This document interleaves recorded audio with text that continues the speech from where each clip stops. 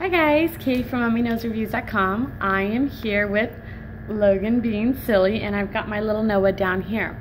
Today I want to talk to you a little bit about um, some postpartum belts.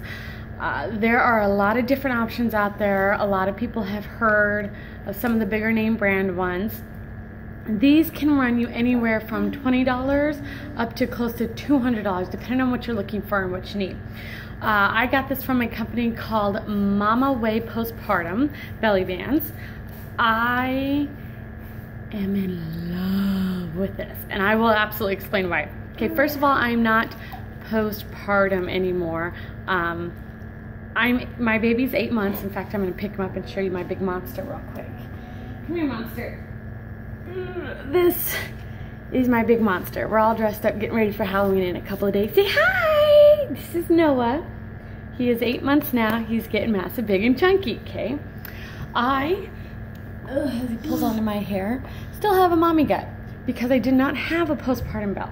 When I finally got one, I hated it, and let me explain why. I'm gonna step back for a second. So see, you can see I got my little bit of a mommy gut still going on.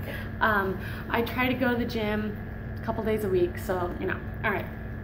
Here's my issues with postpartum belts. Usually when you put them on, they're really hard, okay? And so as you sit down, they cause these bends and wrinkles. And as they bend and wrinkle, it pushes into your skin more. This is completely loose and oh. bendable, so I can actually move around in it. It does have these two Mommy, little extra that's support you bands to here. you. That is me. So as you can see here, it is a little bit Talking to wider you. Down at the bottom to help with your hips. Um, I recommend using these usually around like some sort of fabric as well. So I'm gonna go and lift my shirt a little bit. I have a white shirt on underneath. So you can use like a spaghetti strap shirt or tank or whatever. Um, normally you wanna do this sitting down in a bed because that way everything kind of sucks in a little bit and sits where it's supposed to be.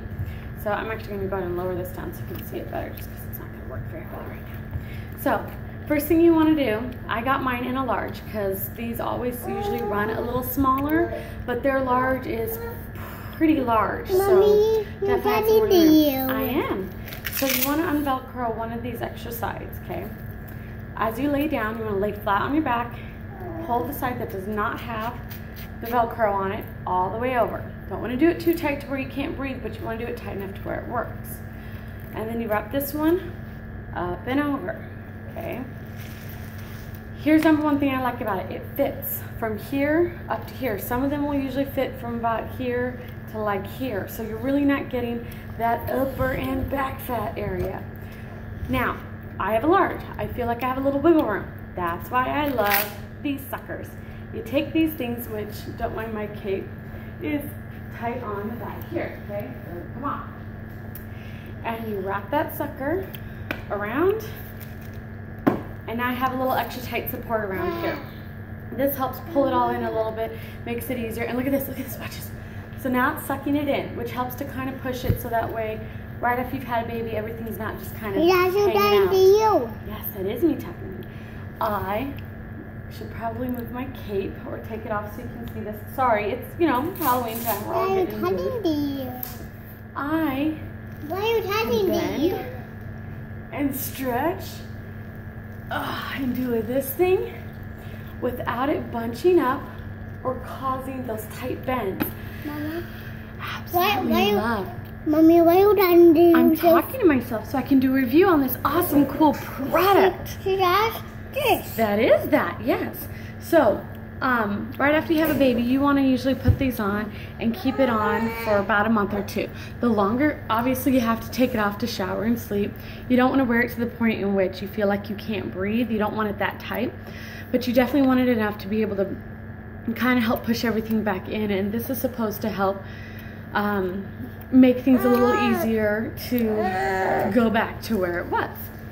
So I have been wearing mine on and off for about a week now, and I can say hiding and hiding. it's very comfortable. I love it. It is definitely, definitely well worth the money.